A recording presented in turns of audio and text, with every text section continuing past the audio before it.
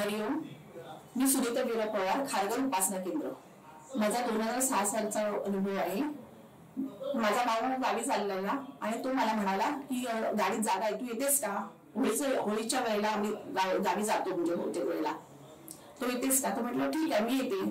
आणि आम्ही दोघं म्हटलं भाऊजी पण येतील. आम्ही दोघं आणि माझी जाऊ पण त्यावेळेला निघाली ती म्हणाली मम्मी पण येते गाडीत जागा असेल तर.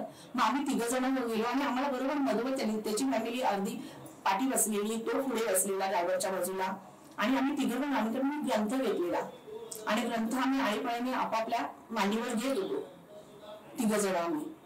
आणि दादाला गाडी घेऊन आला आणि गाडी गाडी आमच्या गेटलाच खारघरला गेटलाच ठोकली.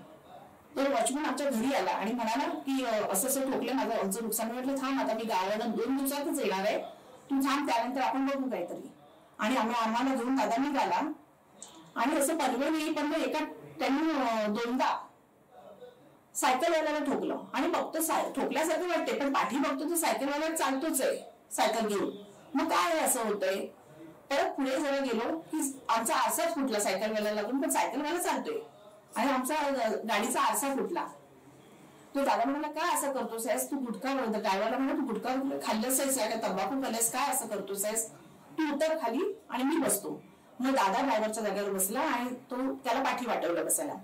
आणि गाडी व्यवस्थित चालली आणि पूर्ण पुरुषोत्तम घाट यायच्या अगोदर आमची गाडी पुरुषोत्तम घाट चढायच्या अगोदर गाडीचे टायर फुटला आणि त्याचे एवढे एवढे छोटे छोटे तुकडे लागले आणि गाडी ह्याच्या साईडला गावच्या साईडला जाणारी गाडी आमची मुंबईच्या साईडला परत अशी वळली आणि कोपऱ्याजवळ उभी राहिली.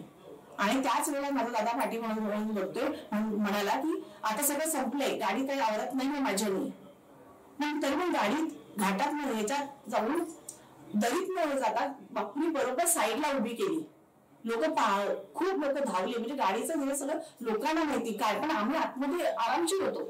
आम्हाला फक्त त्या दादाला माहिती आणि बाहेर लोक बघत होते त्यांना माहिती.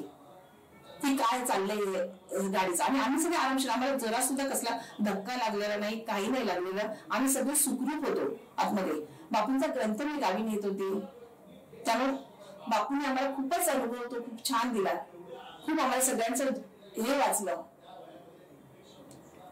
सत्यप्रवेश ग्रंथ होता तो पहिला ग्रंथ बापूंचा. हरिओम श्रीराम अंबतनी.